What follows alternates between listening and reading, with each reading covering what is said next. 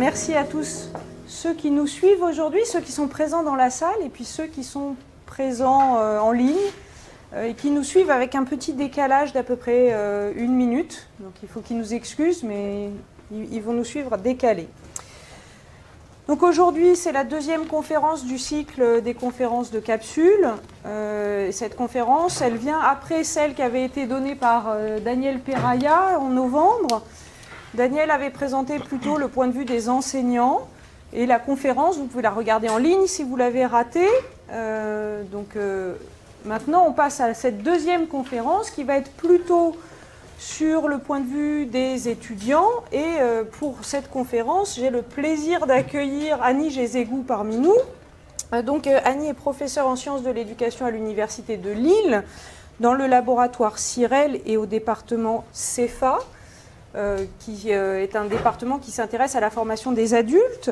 Et puis Annie a dirigé l'ouvrage collectif Traité de la e-formation des adultes, que vous pourrez retrouver au Teaching Lib euh, très prochainement, donc au, premier étage dans, Capsule. Après euh, la, conférence, euh, il y aura un moment d'échange et je voulais préciser à ceux qui sont en ligne qu'ils peuvent poser les questions sur le chat et que Julien les retransmettra à la salle pour qu'ils puissent participer aussi à cette, ce moment de discussion. Et pour ceux qui veulent live tweeter, vous avez le hashtag confcapsule que vous pouvez utiliser pour qu'on puisse identifier vos tweets. Voilà. Annie, Merci beaucoup. merci. J'ai été invitée donc, euh, à participer avec mes collègues Daniel Perraya et Bernadette Charlier sur la thématique générale de ce qu'on appelle les formations hybrides. Et moi, je vais, euh, comme euh, disait, euh, je ne sais plus son prénom, excusez-moi, Mariode. Marie-Aude, euh, je vais, euh, je dirais, euh, vous inviter à réfléchir sur les dispositifs hybrides, sur les formations hybrides, du point de vue des bénéficiaires, qui sont euh, les étudiants lorsqu'on est à l'université, des adultes en formation, qu'on soit en organisme de formation ou en entreprise. Donc on va, ce que dit mon, mon collègue Philippe Carré, dit, nous allons, je vais vous engager à penser à l'envers. C'est-à-dire qu'on ne va plus penser du point de vue des formateurs, des enseignants, des ingénieurs pédagogiques multimédia, des conseillers pédagogiques, toute cette communauté éducative, mais on va bien euh, réfléchir ensemble, euh, échanger ensemble du point de vue de l'apprenant et donc renverser un petit peu la perspective. Alors les objectifs, alors bon, généralement lorsqu'on prépare une conférence, une intervention, euh, celui qui prépare ou celle qui prépare l'intervention a souvent des, des, des- objectifs ambitieux. Donc moi je n'échappe pas à la règle. Je ne sais pas si nous aurons le temps de voir tout ce que j'avais prévu, puisqu'il y a toujours un décalage hein, pour ceux qui ont l'habitude de faire ce genre d'exercice. Euh, euh, voilà. Donc bon, on va essayer de faire peu et très bien, hein, plutôt que de faire beaucoup et, que ça aille dans tous les sens. Alors je parle pour moi, hein, je, parle pour, pour- je parle pour moi.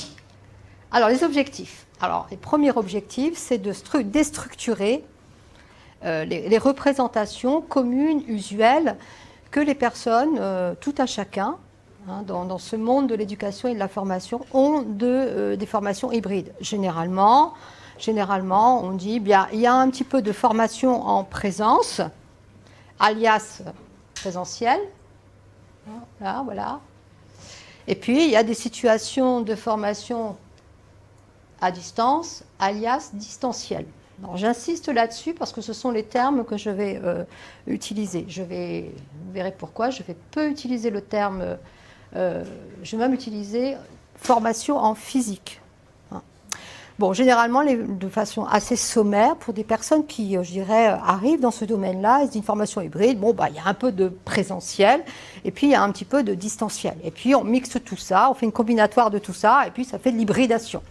Hein, donc finalement, l'hybridation de la formation, elle est conçue du point de vue d'alternance entre du présentiel et du distanciel, qui en, soi est une forme d'hybridation, effectivement. Nous, on va ensemble renverser, euh, cette perspective-là. Deuxième objectif euh, de cette intervention, il y a une typologie qui s'appelle ISUP. Est-ce que vous connaissez la typologie ISUP Oui Non. Bon, ne vous inquiétez pas, je vais revenir euh, sur la typologie ISUP en vous l'expliquant de manière euh, très rapide. Je sais que ma collègue Danielle, Bernadette Charlier, qui viendra après moi le 19 mars, présentera cette typologie. Donc, c'est une typologie qui permet d'identifier le type d'hybridation ou le type de dispositif hybride. Hein. Et donc, euh, je vais vous la présenter et je vais vous apporter une nouvelle grille d'analyse qui permet de penser autrement cette typologie et surtout du point de vue des bénéficiaires qui sont les étudiants ou les adultes en formation. Et le troisième objectif, c'est de prendre cette typologie Hein, et puis de l'interpréter du point de vue de l'apprenant selon deux dimensions qui sont l'apprentissage autodirigé. Qu'est-ce que c'est l'apprentissage autodirigé? C'est une personne, c'est un apprenant, on va dire euh, une personne en formation, qui dirige par lui-même ou elle-même sa formation. Hein, on appelle ça de l'apprentissage autodirigé. Quand c'est dirigé par les enseignants, on appellera ça de la formation hétéro-dirigée, c'est-à-dire dirigée par les autres.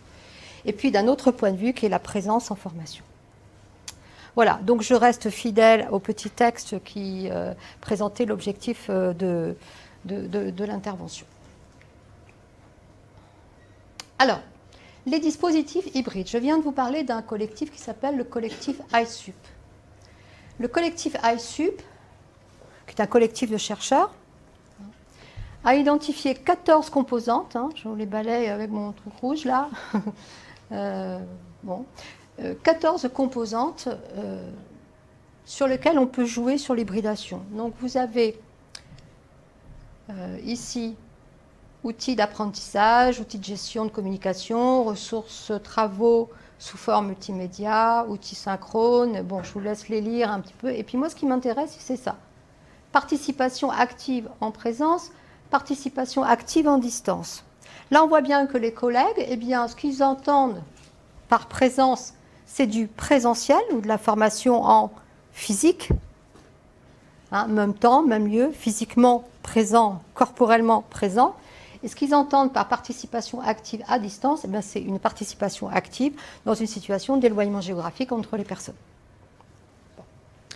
Donc euh, il y a un questionnaire, les personnes remplissent un questionnaire sur une échelle de Likert d'allant de, 0 à, à, 3, et puis remplissent. Et puis on arrive à une constellation. Et à partir de cette constellation, hein, on peut s'y mettre deux pour, la, euh, pour participation active en distance. Bon, on a, on a un radar en fait. Mais ça, ce n'est pas le plus important. Le plus important, c'est ce qui vient. Ici, je vous ai mis l'adresse, ça peut vous intéresser, de l'outil d'autodiagnostic. Donc, euh, c'est un, un, questionnaire en ligne qui donne un autodiagnostic et qui permet de vous dire si le votre dispositif ou un dispositif que vous étudiez Hein, soit en tant que praticien, même en tant que chercheur, se trouve dans une certaine typologie. Euh, donc, euh, il y a en tout six types de dispositifs qui ont été diagnostiqués, qu'on peut diagnostiquer. Trois sont centrés euh, de type enseignement, trois sont centrés de type apprentissage. Et puis, eh bien, les grandes caractéristiques, eh bien, dans la scène, alors ils ont utilisé la méthode de la, enfin la métaphore de la scène, puisque finalement on est dans une situation que ce soit en présentiel ou en distanciel, ou en formation physique ou en éloignement géographique, eh bien, c'est de la médiatisation de ressources textuelles. Hein. C'est-à-dire que l'hybridation est surtout caractérisée par cela. Deuxième, euh, deuxième type de dispositif, ce qu'ils ont appelé l'écran. Eh bien là, on est dans la médiatisation de ressources multimédia, ce qui fait intervenir le son, l'image, des vidéos. On est vraiment dans la dimension multimédia, alors que dans le premier, médiatisation de ressources textuelles, eh bien bon, c'est, je dirais, technologiquement ou en termes de médiatisation, un, peu, moins, euh, un peu moins évolué. Et puis on avance comme ça, non la scène, l'écran, et puis le troisième, centré enseignement, eh bien c'est, ils l'ont appelé euh, un dispositif hybride de type JIT, alors ne me demandez pas pourquoi, hein. moi j'étais pas dans le coup, je ne sais pas. Ils l'ont appelé comme ça, pour poser la question à Bernadette Charlier si vous revenez. Euh, donc c'est l'intégration de ressources et d'intervenants extérieurs au monde académique. Ces dispositifs-là hein, eh bien, sont centrés enseignement. Qu'est-ce que ça veut dire globalement? C'est-à-dire que finalement, sur les formes euh, pédagogiques, bien, pas grand-chose ne change, c'est-à-dire que euh, le pouvoir de formation est toujours détenu par l'enseignant.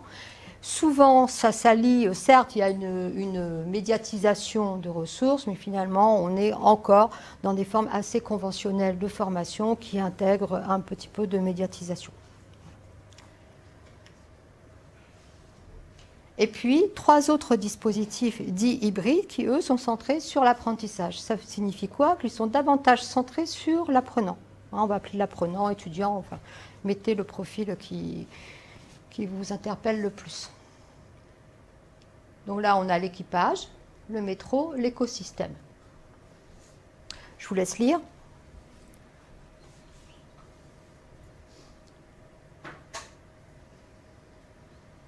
Voilà. Ce qu'on peut constater, et c'est là-dessus que je vais poser mon, intervention, c'est que cette grille-là, elle est très sympathique parce qu'elle permet de dire où j'en suis, moi, dans mes pratiques d'hybridation. Donc vous avez cet outil d'autodiagnostic, vous remplissez un questionnaire, et puis il vous donne automatiquement le résultat.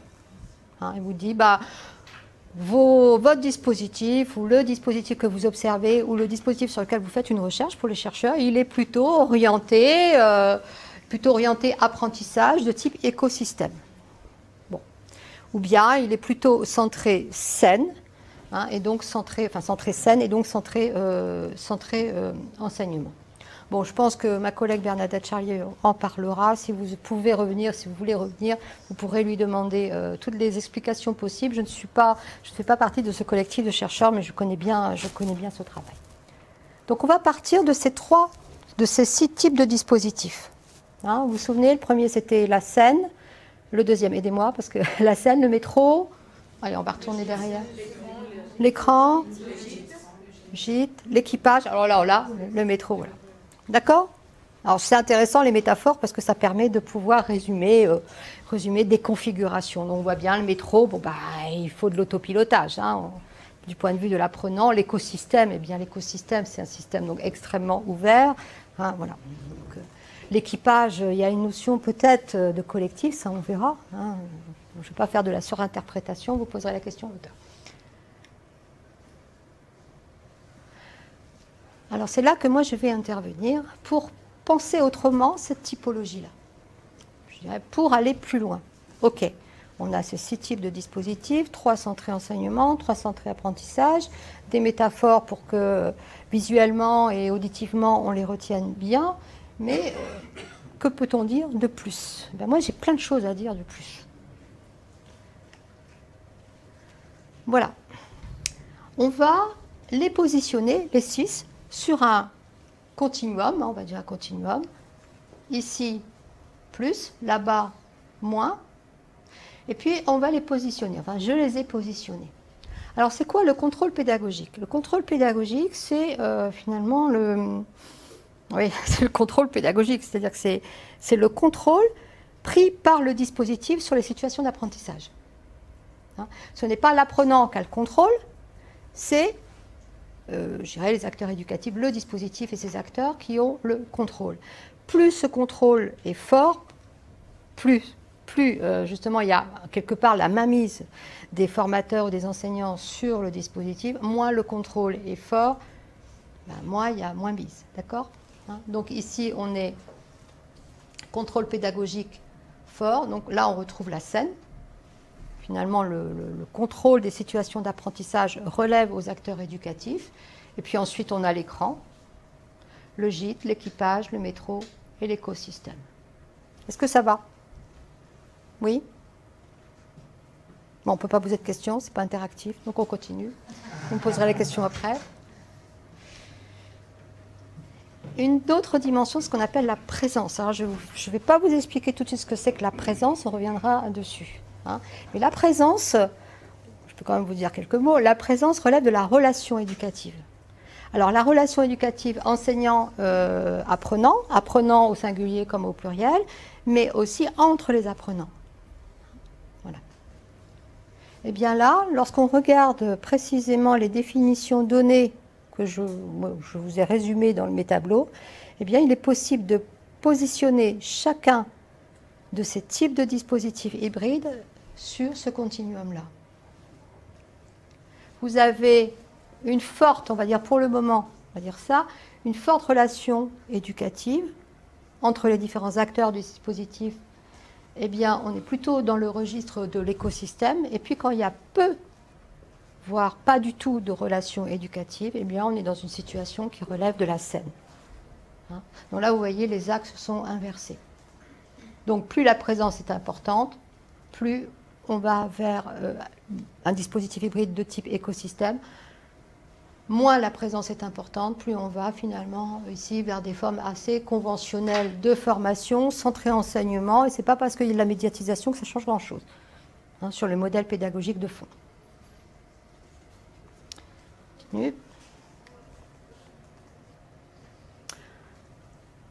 Contrôle pédagogique, on reviendra plus tard. Maintenant, on va aller du côté de la présence, parce que c'est celui qui est le plus difficile à, à comprendre, mais aussi à expliquer.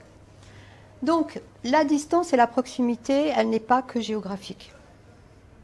Hein, généralement, bon, on dit, bon, ben, il est à distance, ça veut dire qu'il est à 300, 300 km, 10 000 km, mais euh, finalement, dans les faits, il peut même être à un mètre de nous. Et puis, euh, la proximité, eh bien, effectivement, on peut se dire exactement la même chose. Hein. Donc, la distance et la proximité ne se limitent pas à des aspects métriques, mesurables, absolus. Elle est beaucoup de choses à la fois.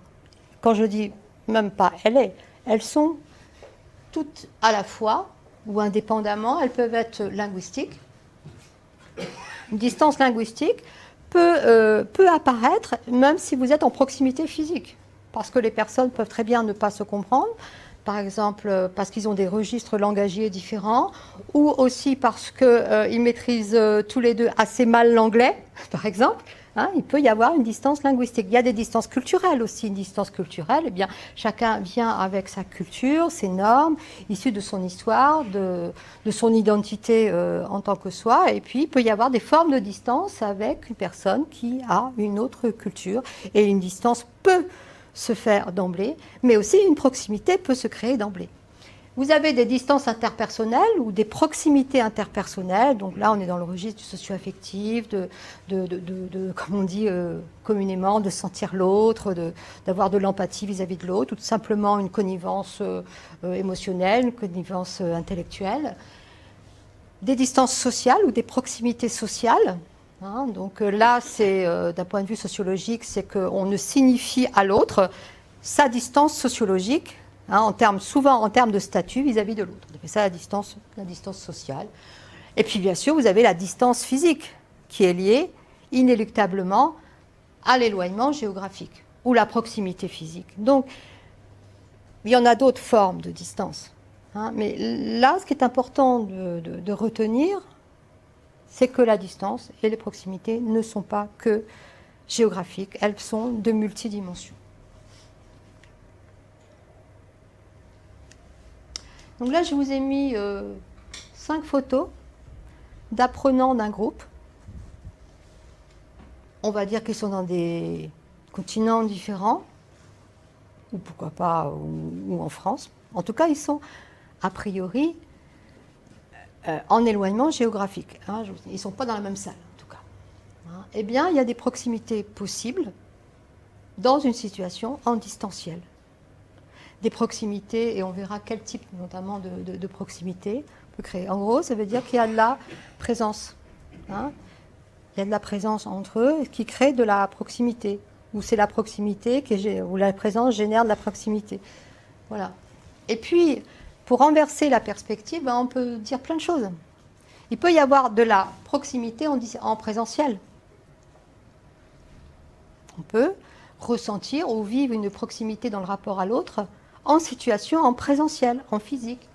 Et puis, il peut y avoir aussi de la distance en présentiel. Alors, distance au pluriel, hein. distance culturelle, distance sociale, distance interpersonnelle. Il peut y avoir plein de formes de distance en présentiel. Et puis, vous avez aussi de la distance en distanciel. Donc, vous avez toute une combinatoire comme ça qui permet de penser les situations de formation du point de vue de la distance et de la proximité. Hein. Par exemple, dans la situation que nous vivons là, même si ce n'est pas une situation pédagogique, moi personnellement, en tant que formatrice, enseignante, je suis dans une situation de distance en présentiel. Pourquoi? Parce qu'on n'interagit pas entre nous. Hein. Et donc il est très difficile pour moi, et pour vous euh, peut-être encore plus dur, de créer une proximité. Mais euh, nous pourrions être tous là euh, dans tous nos, chez nous, par exemple, et puis selon la modalité d'intervention, nous pourrions créer tous ensemble une proximité en distanciel. Hein. Donc voilà. Donc pensez souvent cette combinatoire-là, elle est très pratique. Pourquoi? Parce qu'elle permet de déstructurer le langage commun qui dit oui, oui, bon, bah, je fais mon cours en présence. Ben non, je fais mon cours en présentiel. Mais ça veut peut-être dire que je vais créer plein de distances. Alors bien sûr, le top de top, c'est quoi? Du point de vue relationnel, ben, c'est créer une proximité en présentiel. Et puis le top de top, ben, c'est créer, et c'est très difficile d'ailleurs, parce que justement, il n'y a pas de présence physique, unité de temps, de lieu et donc de physique, c'est de créer du présentiel en distanciel. Hein, du point de vue de la relation pédagogique, la relation éducative. Bon, bah, c'est bien beau tout ça, mais euh, l'objectif, si la, finalité éducative, c'est de réduire la distance et de créer euh, une proximité, eh bien, comment faire? Moi, je pose le postulat euh, qu'il s'agit dès lors de créer une présence. Hein. Pour réduire la distance, créer et générer une proximité, la, dimension euh, intermédiaire, c'est de créer une présence. Que ce soit en présentiel ou que ce soit en distanciel. Hein, créer une présence. Créer une présence à distance géographique. On est obligé d'ajouter toujours toutes les nuances parce que entre présentiel, distanciel, euh, toute cette combinatoire-là, il est important de, préciser les situations. Donc là, je vous ai volontairement mis trois situations de travail, euh, d'étudiants, on va dire d'étudiants. Donc là, vous avez euh, le premier, vous avez étudiants. Donc là, on est dans une situation en présentiel. En regardant cette diapo, d'après vous, existe-t-il une proximité entre les personnes? Autre que physique. D'accord La proximité physique, elle est, elle est manifeste. Hein. Je les ai même mis euh, tous resserrés les uns contre les autres exprès. Enfin, c'est pas moi, j'ai choisi la photo dans ce sens-là. Hein. Mais a priori, on ne peut pas savoir. On ne peut pas savoir. Le deuxième, eh bien, vous avez, on a l'impression qu'on a quatre, euh, cinq personnes en distanciel, c'est-à-dire en éloignement géographique, et puis, euh, oui, géographique, et puis vous avez une personne qui est prise sur une focale. Bon, Proche ou distant? Proche ou distant, bah, c'est pas facile de savoir. Hein. Et puis la troisième, eh bien, vous en avez deux. Bon voilà, puis j'aurais pu prendre plein d'autres configurations, j'en ai choisi trois. Euh, donc c'est pas euh, sur des a priori de situation de placement du corps ou du fait qu'il y ait euh, des médias intermédiaires qui permettent de dire d'emblée si les personnes sont proches en éloignement géographique, ou, alors aidez-moi parce que dans les combinatoires, proche en éloignement géographique, ou distant en proximité physique. D'accord? Oui, parce qu'il ne faut pas qu'on se mélange là. Eh bien, quel est l'indicateur Quel est l'indicateur? La présence relève de la relation, de la qualité de la relation. Eh bien, la présence, c'est la résultante d'une dynamique interactionnelle. Il y a de l'interaction. L'interaction, ça veut dire qu'il y a action, réaction. Hein? C'est-à-dire qu'il y a échange, échange réciproque. Hein, donc une dynamique interactionnelle entre les apprenants du groupe, entre les apprenants et l'enseignant ou le formateur, utilisez le, terme qui vous convient le mieux. Donc la présence résulte d'une dynamique interactionnelle entre euh, les différents acteurs d'une situation d'apprentissage. Et là, eh bien, certaines situations pédagogiques et formes d'interaction sociale permettent de créer cette présence et d'autres ne, le permettent pas. Donc, pour savoir si ces personnes-là euh, sont euh, finalement proches les uns des autres, mais est-ce qu'il s'agit d'étudier, quand on est par exemple chercheur, ou quand on est euh, formateur, enseignant, c'est de, de regarder la nature des interactions sociales qu'il se crée entre les personnes.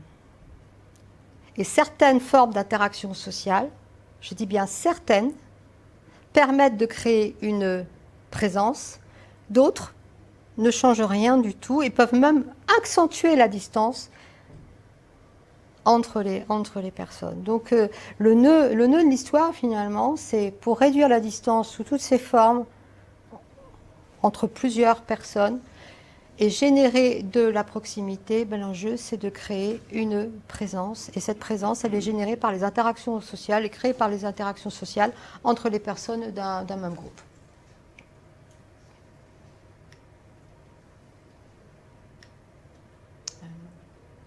Bon.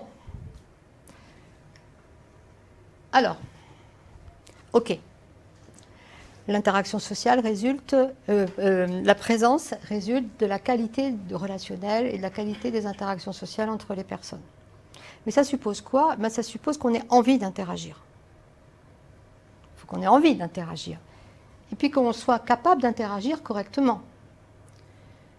Et euh, cette intention, cette motivation et ce moteur à agir, ça s'appelle l'agentivité.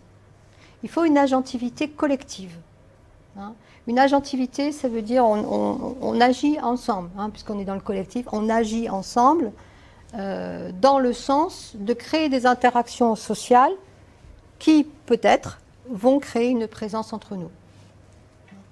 Alors, bah, je vous ai mis la métaphore, euh, enfin métaphore, l'image du, c'est quoi? Des rameurs dans une mer un peu houleuse, dont la mer un peu houleuse, bah, c'est le vécu en formation. Alors, je ne sais pas si c'est lui le prof, lui, un petit rouge. Je ne sais pas si c'est lui le prof, parce que, bon, c'est peut-être un apprenant, on n'en sait rien. En tout cas, ce qui est important, c'est qu'ils ont une forte motivation à être ensemble, ça se voit, hein, ils, ont l'air de suer. Ils vont tous vers un but commun. Alors, on ne sait pas où ils vont parce qu'on ne voit pas, mais ils vont tous vers un but commun. Hein. Et puis, euh, ils contrôlent leurs activités. Ben là, ben, ils contrôlent le rythme dans lequel euh, hein, ils, ils, rament, justement. Et puis, quand on est en formation, en, situation en distanciel, eh bien, ils interagissent via des artefacts socio-numériques. Des artefacts socio-numériques, c'est par exemple des forums, des, euh, des forums, des chats, des classes virtuelles, euh, tous les, outils qui permettent de générer des, interactions sociales. Donc, sans une volonté collective à agir, il est difficile de pouvoir créer une présence. Hein? Ça veut dire qu'il faut avoir un but commun.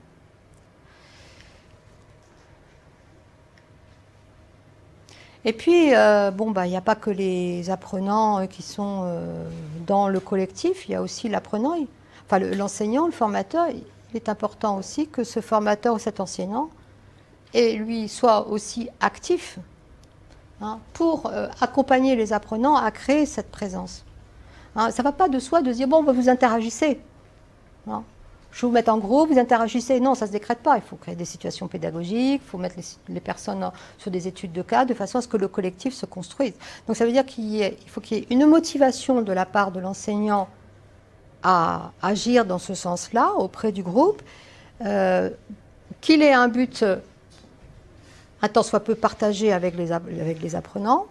Hein, euh, et puis qu'il ait aussi bien sûr des compétences. Donc euh, sans globalement, sans une mise en mouvement, une intentionnalité de la part du groupe d'apprenants, d'étudiants et du formateur ou de l'enseignant, eh bien il est difficile de créer des interactions sociales qui seraient susceptibles de créer une présence.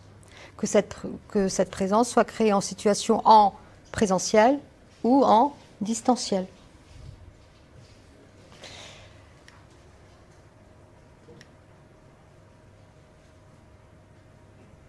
Alors justement, on va se focaliser sur ce que moi j'appelle la e-formation, c'est-à-dire la formation euh, euh, en distanciel, on va dire, euh, voilà, résumé comme ça pour le moment, ou en, éloignement géographique, parce que là interviennent justement les médias, les médias, toute la logistique d'instrumentalisation, toute la logistique de médiatisation et de médiation. Les médiations, on est plus dans le registre de la relation. Eh bien, euh, là, euh, pour les personnes qui euh, ont des, étudiants, des étudiants à distance, notamment, vous suivez vos étudiants à distance, il est important, en plus d'avoir envie d'agir dans ce sens-là, ce qu'on appelle, bon, communément l'agentivité, eh bien, il faut aussi que toutes les technologies et services numériques en ligne aient un potentiel intéressant de communication. Parce que créer de la présence à distance ou en distanciel, comme vous voulez, c'est bien. Mais si on n'a pas d'outils d'outils sociotechniques, en gros des forums, des chats, des classes virtuelles, qui finalement sont limités dans nos possibilités de pouvoir agir avec nos étudiants et inversement la possibilité pour que euh, nos étudiants, les apprenants interagissent avec nous, eh bien, euh, il est difficile de créer une présence à distance. Hein, puisque ça dépend, euh, de, ce potentiel de communication. Mais un outil en soi, il a un potentiel. Ce qui est important, c'est l'usage que nous en faisons. Donc euh, il y a le potentiel euh, des technologies, puis il y a l'usage que, nous en faisons.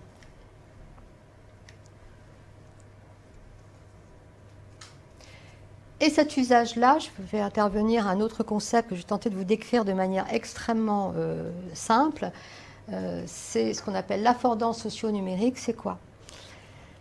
C'est deux choses, notamment. C'est premièrement, est-ce que cet outil qu'on me propose, via Moodle, il y a des classes tout, tout, ce que vous voulez, tous les artefacts socio-numériques, vous avez des professionnels, là, vous pouvez leur demander tout, la panorama, tout le panorama d'artefacts socio-numériques qu'il peut y avoir hein, auprès, de, auprès de vos collègues de capsule, hein, il y en a plein, mais euh, la question en termes d'usager, la première chose euh, que la, personne se pose, c'est est-ce que c'est facile à utiliser? Parce que je n'ai pas forcément le temps, parce que moi je ne suis pas forcément très au fait de toutes ces technologies, je n'ai pas l'habitude de les utiliser. Ce n'est pas forcément une question d'âge. Hein. Mais voilà, est-ce que c'est facile euh, à utiliser? Hein? Et est-ce que c'est utile? Ce qu'on appelle l'affordance. Est-ce que c'est facile? Est-ce que c'est utile? Il y a deux questions. Et je pense que les concepteurs d'outils pédagogiques multimédia devraient se poser, et je par expérience, pour bien connaître ce milieu-là, ce milieu-là ne se pose pas cette question-là de la fordance. Première chose, c'est une question toute simple qu'on peut tous se poser. Est-ce que cet outil qu'on me met à disposition, d'une part, il est facile à utiliser Deuxièmement, est-ce qu'il va être, m'être utile hein, Voilà. Et donc, si vous avez, vous vous retrouvez dans une situation où vous avez, bon, des artefacts socio-numériques, euh, hein, forums, chat, enfin bon, je ne vais pas vous les faire tous parce que des mails et ainsi de suite, Moodle et ainsi de suite, qui ont finalement un potentiel. Un potentiel, ça veut dire que ce n'est pas en acte. Un potentiel, euh, un c'est pas l'acte. Hein. C'est la graine, c'est la graine qu'on met dans la terre, c'est pas la fleur. Hein. D'accord? C'est un potentiel, c'est en potentialité. Euh, qui ont un potentiel en soi communicationnel, certes. On va en faire un usage, et si en plus vous avez cette double perception, est-ce que c'est utile est-ce que c'est facile Eh bien là, je dirais, il peut y avoir un engagement, non seulement du point de vue du formateur, mais aussi euh, des apprenants à se mettre dans une logique d'interaction, pourvu que, bien sûr, il y ait une situation pédagogique euh, qui permette de pouvoir le faire. Hein, et dont la présence peut se créer à partir de ce moment-là.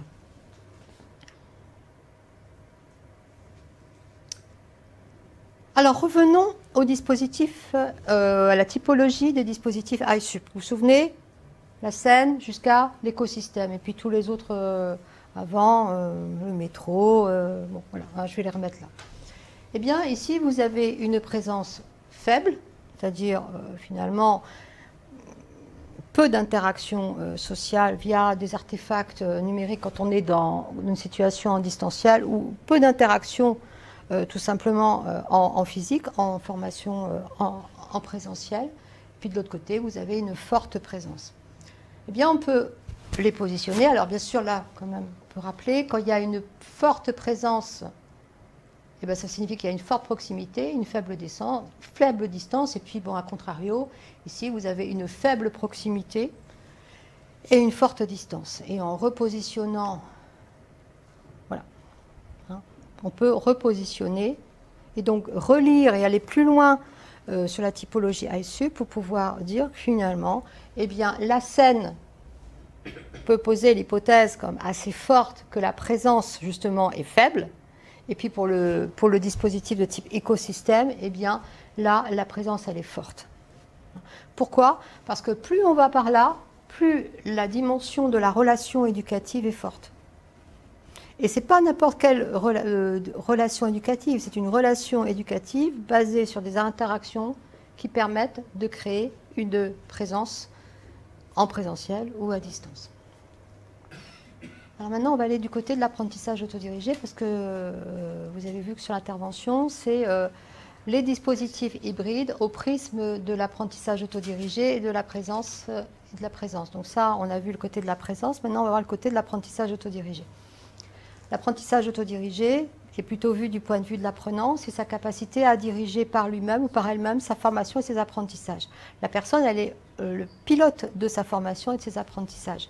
Ce n'est pas le formateur qui pilote pour les autres, c'est vraiment l'apprenant qui euh, dirige par lui-même, pourvu qu'on lui autorise, qu'on l'autorise à le faire, ce qui n'est pas toujours le cas. Là, j'ai remis ce qu'on a vu tout à l'heure. Ici, vous avez un fort contrôle pédagogique exercé par le dispositif finalement, eh bien, tous les tenants de la situation de formation d'apprentissage est maîtrisé par le formateur, tandis que ici, eh bien, le contrôle pédagogique exercé par le dispositif est faible. En gros, ça veut dire que l'apprenant peut exercer le contrôle parce qu'on l'autorise à, à, le faire. Donc là, on a ce qu'on appelle des dispositifs fermés, quasi pas de liberté de choix accordée à l'apprenant. Cette liberté de choix, eh bien, euh, quasi pas ou un peu. Pas de liberté de choix sur les objectifs d'apprentissage, pas de liberté de choix sur le lieu, pas de liberté de choix sur la temporalité, pas de liberté de choix sur le rythme, pas de liberté de choix sur les formateurs, pas de liberté de choix sur les ressources pédagogiques, pas de liberté de choix sur les outils de communication. Et puis on pourrait rajouter. Donc ce dispositif que nous appelons, que nous qualifions de fermés. Ils sont fermés pourquoi Parce que le formateur exerce un fort contrôle pédagogique sur la situation d'apprentissage. Et eh bien là, on se retrouve dans la situation de la scène. Et la scène, je vous le rappelle pour mémoire, c'est une situation où finalement euh, rien ne change globalement à des formations en, conventionnel, hormis le fait qu'il y a eu une médiatisation de ressources textuelles. Hein. En gros, vous utilisez Moodle ici? Oui, tout le monde utilise modèle. Bon, ben voilà. Ben, en gros, ben, vous mettez, vous changez rien à vos pratiques traditionnelles, enfin traditionnelles, vos pratiques aux, pratiques conventionnelles traditionnelles, et puis vous mettez des PDF. Vous voyez? Ça vous parle ça? Eh ben, on est dans la situation de la scène. On est dans la situation de la scène. Rien ne change. Finalement, rien ne change. Rien ne change. Qui exerce le contrôle pédagogique? Ben, C'est nous, c'est vous, c'est moi nous exerçons un contrôle pédagogique fort sur la situation.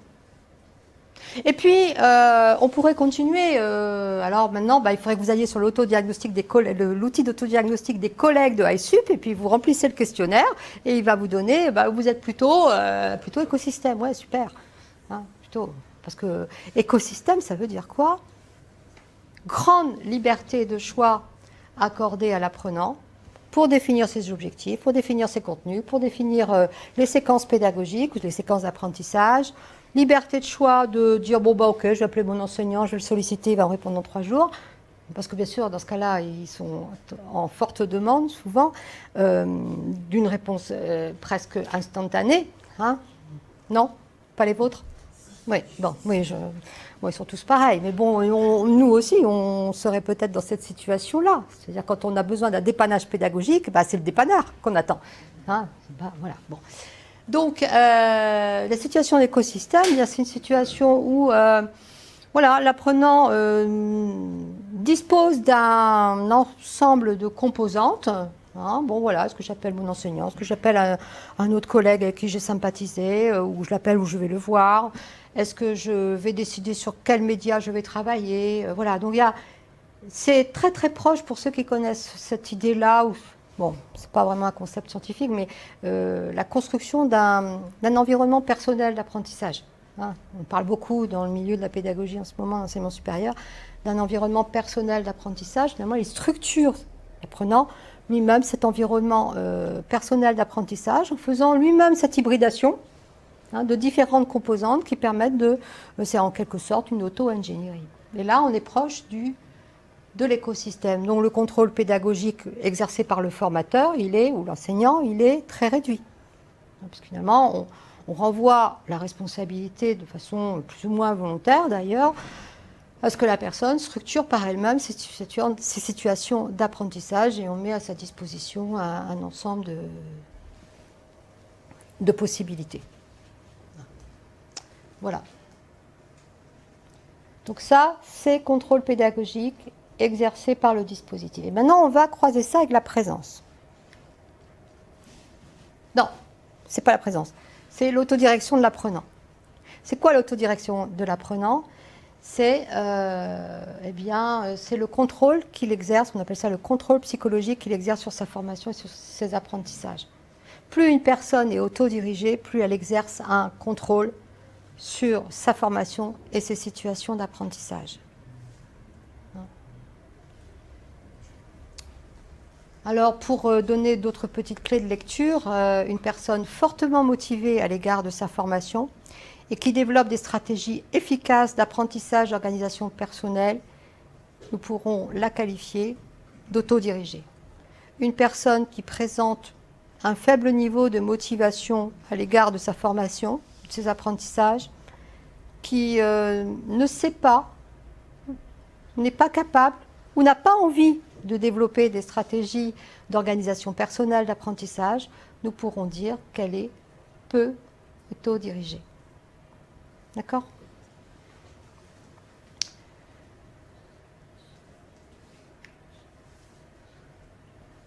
Et là, vous avez plein de situations possibles. Alors là, euh, voilà, c'est un double continuum croisé. Vous pouvez mettre plein de situations. Moi, j'en ai mis quelques-unes. Alors, situation ou apprenant, si vous voulez. Ici, vous avez une situation, mais pas qu'un apprenant, puisqu'il y a le contrôle pédagogique qui intervient. Par exemple, la situation D.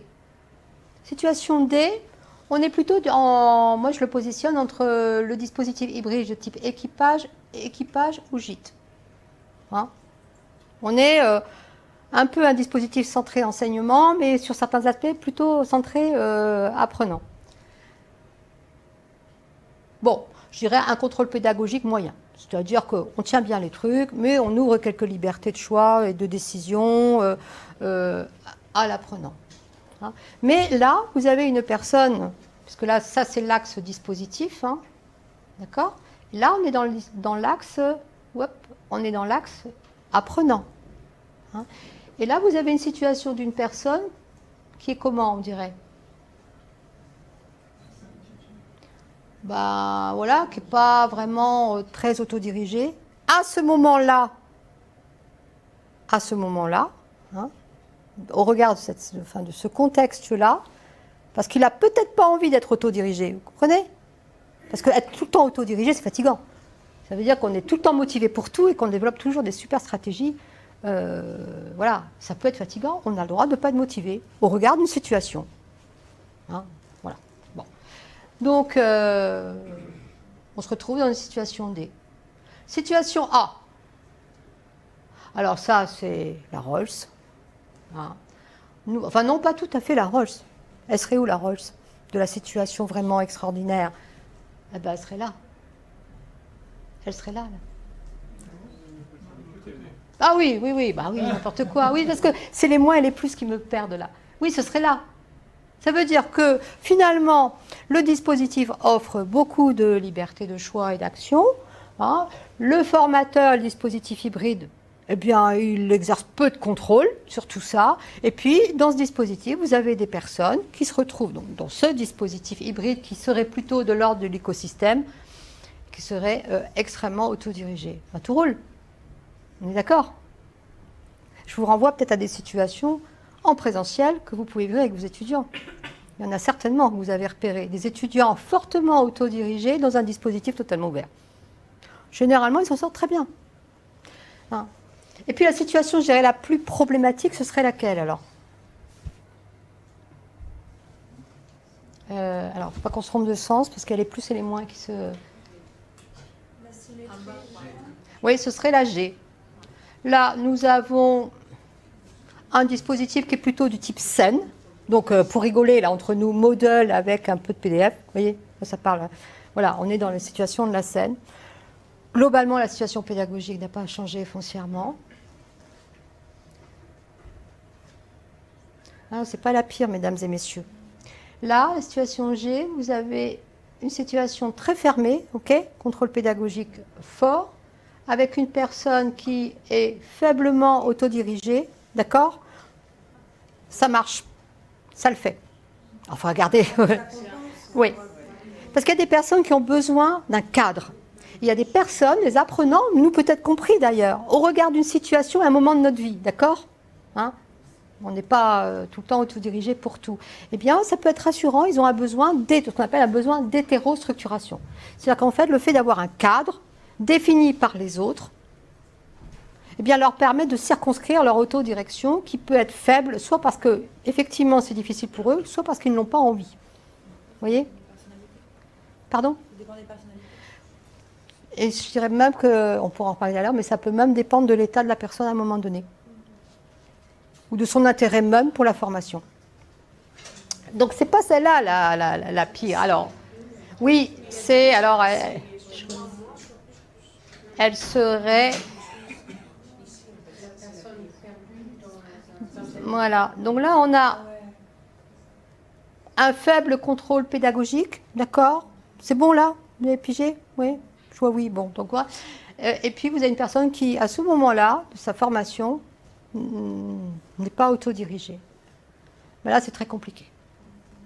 Parce que finalement, on lui offre plein de possibilités possibles, mais elle est difficile pour elle d'être agentique, comme on dit, de développer son agentivité, d'être autodirigée, parce que euh, parce qu'elle ne sait pas quoi faire. C'est-à-dire qu'on peut nous ouvrir plein de libertés de choix, et puis on sait, nous pouvons, mais tout à chacun, hein, ne pas savoir qu'en faire. Et il y a une situation, moi, qui m'intéresse beaucoup, parce que ça, c'est de l'expérientiel, c'est du vécu, c'est celle-là.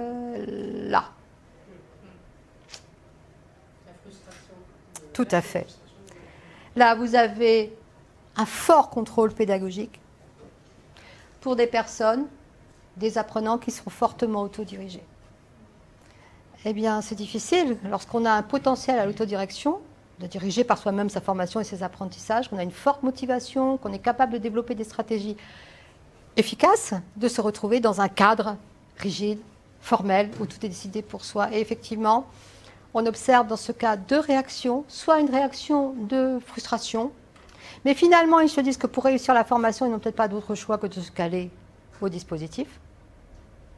je ne vais pas nommer des dispositifs, des dispositifs assez, euh, carrément fermés, carrément fermés, fort contrôle pédagogique avec des apprenants extrêmement autodirigés. Et ce qu'on observe en recherche, c'est que dans ce cas-là, ils développent des stratégies d'autodirection à la marge du dispositif. C'est-à-dire qu'ils s'ajustent aux conditions qui leur sont imposées et ils développent des stratégies à la marge par exemple dans les écoles d'ingénieurs, les 4L Corf euh, trophées, euh, je ne sais pas ce qu'on fait dans votre université, c'est-à-dire qu'ils vont, ils vont, développer leur autodirection à l'extérieur du dispositif parce que justement, euh, eh bien, ils doivent psychiquement gérer cette frustration. On a, observé ça. Bon voilà, donc on a toute une configuration de situation. Mais là, je voudrais insister sur un fait très important, je vais rajouter là. Ces situations sont contingentes, ça veut dire que ça dépend des individus, ça dépend des dispositifs. Et elles sont évolutives. C'est-à-dire qu'une personne peut très bien passer de là, alors, faut pas que je me trompe, de là à là, par le seul levier de la motivation.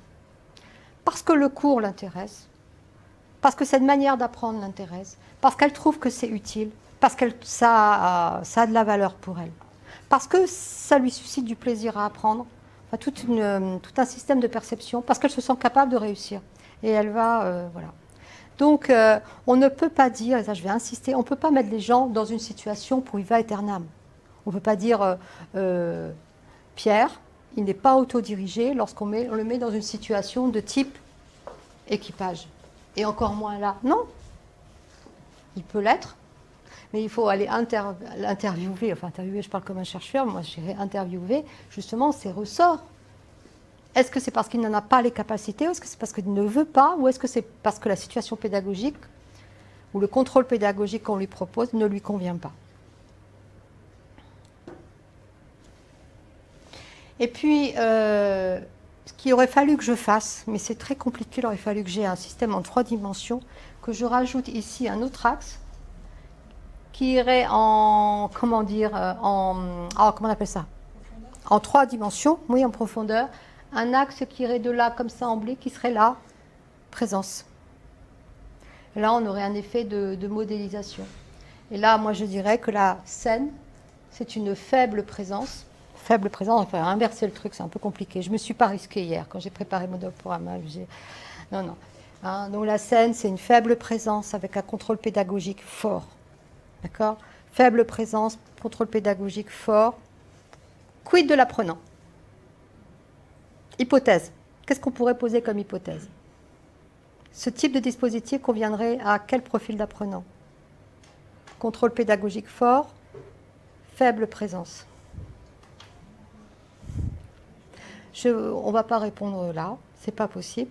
Je vous, je voilà, vous pourrez y réfléchir. Et puis, euh, euh, le système, l'écosystème. L'écosystème, c'est une forte présence, qu'elle soit en euh, alors la présence en physique ou la présence en éloignement géographique. Hein, vous vous rappelez de ça?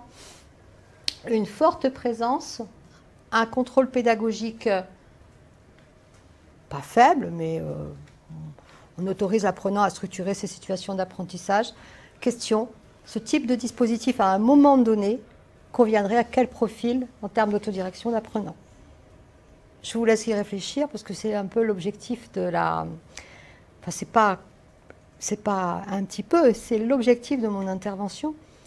L'objectif de mon intervention, parce que là je vais être euh, contrainte de, clore parce que c'est l'heure, hein, c'est euh, de déstructurer premièrement la notion de présence et la notion de distance.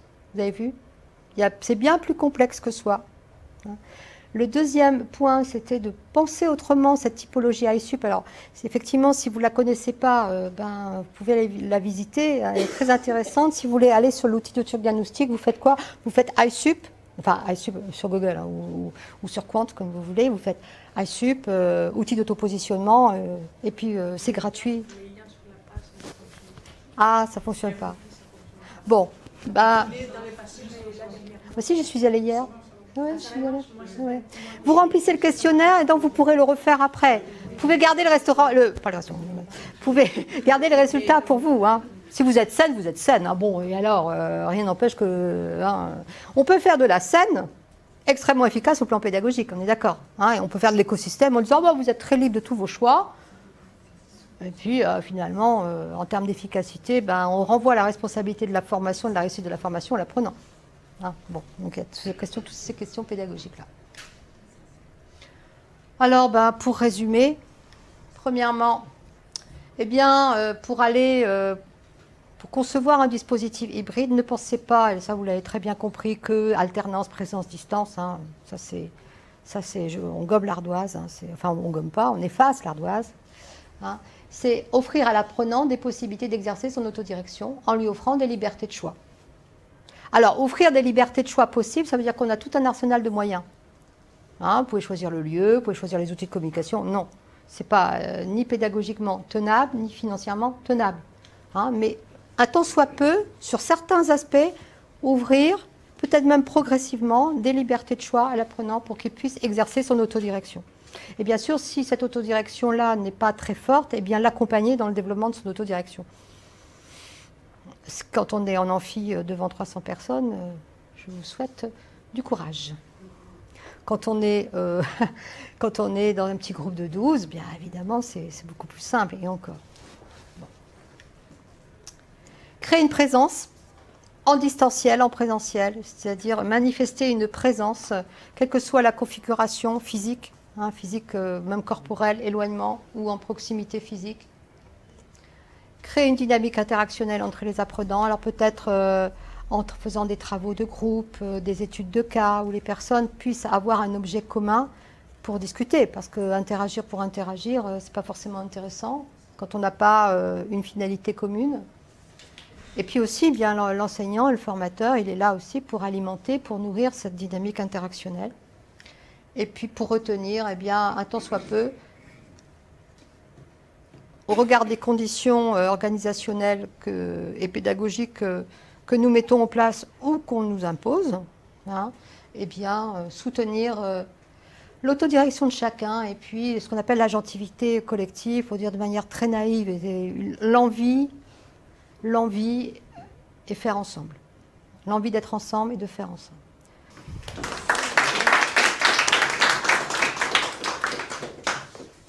Merci Annie Gézécoua d'être intervenue. Euh, merci à vous dans la salle, merci aux spectateurs euh, sur le web. Euh, merci En présentiel. à- en présentiel, tous et, Et toutes. en distanciel. Merci à Anthony Venven et René qui est caché derrière pour la prestation audiovisuelle. J'ai mon petit papier comme Madame Vitrani. La dernière et la prochaine conf capsule, où euh, la prochaine et la dernière, ce sera le 19 mars, donc avec euh, Bernadette Charlier, hmm. pour parler de l'hybridation des parcours cette hmm. fois.